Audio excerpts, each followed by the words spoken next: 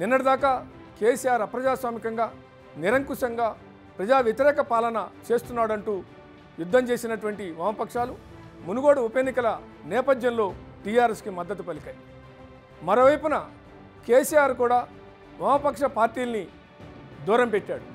వాళ్ళకి కనీసం అపాయింట్మెంట్ కూడా ఇవ్వలేదు. పైగా అవి దబ్బడం పార్టీ సూది పార్టీ తోక పార్టీలు అంటూ దుమ్మెత్తిపోశాడు మరోవైపున వామపక్షాలు సిపిఐ సిపిఎం చిరోదారిలో తెలంగాణ రాష్ట్రం ఏర్పడిన దగ్గర నుంచి ఇప్పటిదాకా ప్రయాణం చేసింది. రెండు వేల పద్నాలుగులో సిపిఐ కాంగ్రెస్తో జతకట్టింది. రెండు వేల పద్దెనిమిదిలో సిపిఐ కాంగ్రెస్తో జతకట్టింది. సిపిఎం ఒంటరిగా ఉంది. ఈ నేపథ్యంలో ఈ రెండు పార్టీల్ని దగ్గరికి తీసుకున్నాడు కేసీఆర్ మునుగోడు ఉప ఎన్నిక నేపథ్యంలో. మునుగోడు ఉప ఎన్నిక ఫలితం తర్వాత వామపక్షాల ప్రాధాన్యత పెరిగింది. వామపక్షాల మద్దతుతోనే కేసీఆర్ మునుగోడులో గట్టెక్కాడు అంటూ కూడా విశ్లేషణలు వస్తున్నాయి. ఈ కాంటెస్ట్లో వామపక్షాలపై మరోవైపున మేధావులు వామపక్ష సానుభూతిపరులు ప్రజాస్వామ్యవాదులు కూడా వామపక్షాలపై ఎదురుదాడికి దిగాయి. నిన్నటిదాకా కేసీఆర్ నిరంకుశంగా వ్యవహరించాడు అప్రజాస్వామ్యంగా వ్యవహరించాడు ప్రజా వ్యతిరేక పాలన అందిస్తున్నాడు అని వారిపై యుద్ధం చేసినటువంటి వామపక్షాలు ఒక్కసారిగా సడన్గా కేసీఆర్పై ఎలా ప్రేమ పుట్టింది అంటూ ప్రశ్నల వర్షం కురిపిస్తున్నారు. మరోవైపున కేసీఆర్కి కూడా ఇతర ప్రజాస్వామికవాదులు ప్రశ్నిస్తున్నారు. నిన్నటిదాకా వామపక్షాలని తప్పుపట్టిన కాలం చెల్లిన సిద్ధాంతం అంటూ తప్పుపట్టినటువంటి కేసీఆర్ వాటి అవసరం ఎలా గుర్తించాడు ఎందుకు గుర్తించాడు ఏ ప్రయోజనం ఆశించి వాటిని దగ్గర తీసుకున్నాడు అనేటువంటి చర్చకి తెరలేపుతున్నాడు ఒకవైపున కేంద్ర ప్రభుత్వం వర్సెస్ రాష్ట్ర ప్రభుత్వం అంటే మోడీ వర్సెస్ కేసీఆర్ మధ్య మాటలో యుద్ధం జరుగుతోంది. అవి రాజకీయ కక్ష సాధింపు చర్యలకు దారితీస్తున్నాయి. ఈడీ సిబిఐ ఐటీల్ని ప్రయోగించి కేసీఆర్ కుటుంబాన్ని టార్గెట్ చేస్తున్నారంటూ విమర్శలు వెల్లువెత్తుతున్నాయి. మరోవైపు రాష్ట్రంలో అధికారంలో ఉన్న కేసీఆర్ కూడా తనకున్నటువంటి దర్యాప్తు సంస్థలు అడ్డం పెట్టుకొని విపక్షాలని కకలావికలం చేస్తున్నాడనే విమర్శలు ఉన్నాయి. పార్టీ ఫిరాయింపుల్లో అప్రజాస్వామిక పాలనలో నిరంకుశ విధానాల్లో మోడీకి కేసీఆర్కి మధ్య తేడా లేదు అనేటువంటి వాదన వినిపిస్తుంది. ప్రజాస్వామికవాదులు మేధావులు ఇదే పదే పదే చెబుతున్నారు ఈ విషయాన్ని నిన్నటిదాకా వామపక్షాలు కూడా గుర్తించాయి. కానీ ఇవాళ మోడీపై యుద్ధం పేరుతో కేసీఆర్లో మంచినెతికే పని వామపక్షాలు చేస్తున్నాయి అనేటువంటి విమర్శలు కూడా వెలువెత్తుతున్నాయి. నిన్నటిదాకా మోడీ హామీలు విభజన హామీలు అమలు చేయలేదనే విషయంలో వామపక్షాలు ఎందుకు గట్టిగా నిలదీయలేకపోయినాయి? మోడీ ఇక్కడ తెలంగాణ రాష్ట్రంలో ఇప్పటికీ మూడు నాలుగు సార్లు పర్యటించాడు ఐబీఎస్ ఓపెనింగ్ కానీ ఇక్రిసాట్ కానీ లేదు జాతీయ కార్యవర్గ సమావేశాల సందర్భంగా మోడీ పర్యటనప్పుడు విభజన హామీలు అమలు చేయలేదు. విభజన హామీలు అమలు చేయకుండా రాష్ట్రంలో పర్యటించడానికి వీలు లేదు అని వామపక్షాలు ఎందుకు మరి ఉద్యమాలు చేయలేదు?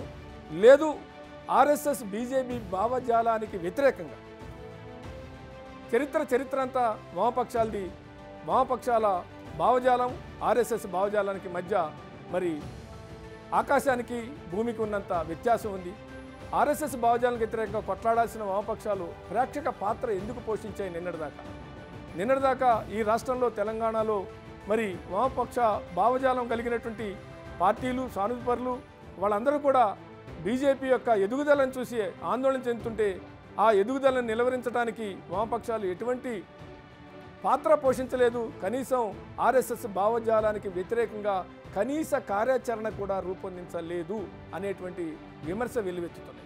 మరి ఇప్పుడు మాత్రమే మునుగోడు ఎన్నిక తర్వాత మాత్రమే ఆర్ఎస్ఎస్ భావజాలాన్ని వ్యతిరేకించాలి బీజేపీని నిలువరించాలి బీజేపీ ఆటలు తెలంగాణలో సాగవు మోడీ నీ ఆటలు ఇక్కడ సాగవు మోడీ పర్యటన అడ్డుకుంటాం బీజేపీ ఎదుగుదలని అడ్డుకట్ట వేస్తాం బీజేపీ ఇక్కడ చిచ్చు పెట్టాలంటే కుదరదు అనేటువంటి ఈ డైలాగులు ఈ మాటలు ఈ మాటల తోటాలు నిన్నటిదాకా మునుగోడు ఎన్నికకు ముందు వామపక్షాలు ఎందుకు పేల్చలేకపోయినాయి అనే ప్రశ్న ఇవాళ మేధావుల నుంచి వస్తుంది ప్రజాస్వామికవాదుల నుంచి వస్తుంది. ముఖ్యంగా వామపక్ష సానుభూతి పరులు కూడా ఈ ప్రశ్న వామపక్ష నాయకులను సూటిగా వేస్తున్నారు. మొదటి నుంచి ఆర్ఎస్ఎస్ ఎదుగుదలను అడ్డుకోవాల్సినటువంటిది ఆర్ఎస్ఎస్ భావజాలానికి అడ్డుకట్ట వేయాల్సినటువంటి వామపక్షాలు తెలంగాణ రాష్ట్రం ఏర్పడ్డ తర్వాత ఇదే కేసీఆర్ బీజేపీ బలోపేతానికి పరోక్షంగా సహకారం అందించింది వాస్తవం కాదా? బీజేపీ ఎదుగుదలకు సహకారం కాంగ్రెస్ను అంతం చేసి బీజేపీ ఎదుగుదలకి కేసీఆర్ అన్ని రకాలుగా వాళ్ళకి పరోక్షంగా అండదండలు అందించాడు. ఆ విషయం వామపక్ష నాయకులకు తెలియదా అనే ప్రశ్న కూడా మేధావుల నుంచి వారికి సూటిగా ప్రశ్నిస్తున్నారు. మరి బీజేపీ ఎదుగుదలకు కారణమైనటువంటి కేసీఆర్ అంటే మెడకు చుట్టుకున్న పాము కరవక తప్పదు అన్నట్టుగా ఇవాళ బీజేపీని పెంచి పోషించిన కేసీఆర్కి ఇవాళ అదే బీజేపీ నుంచి థ్రెట్ వచ్చింది అదే మోడీ నుంచి థ్రెట్ వచ్చింది అదే మోడీ అమిత్ షాల ద్వయం కేసీఆర్ని టార్గెట్ చేశారు కేసీఆర్ కుటుంబాన్ని టార్గెట్ చేశారు.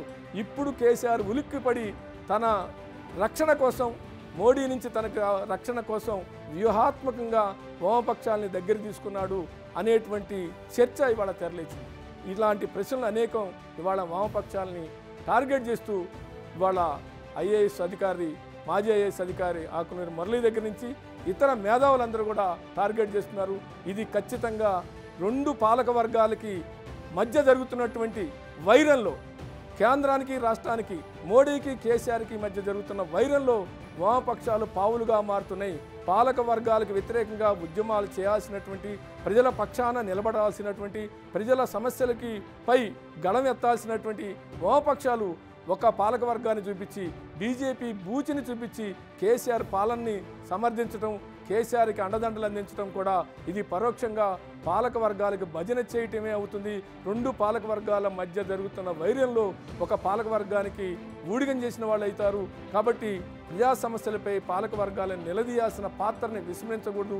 కమ్యూనిస్టు సిద్ధాంతాల్ని గాలికి వదిలేసి అవకాశవాద సిద్ధాంతాన్ని ఇవాళ బీజే వామపక్షాలు ఎత్తుకున్నాయనేటువంటి విమర్శలు వెల్లువెత్తుతున్నాయి. ఇదే ఇవాళ స్పెషల్ వీడియో.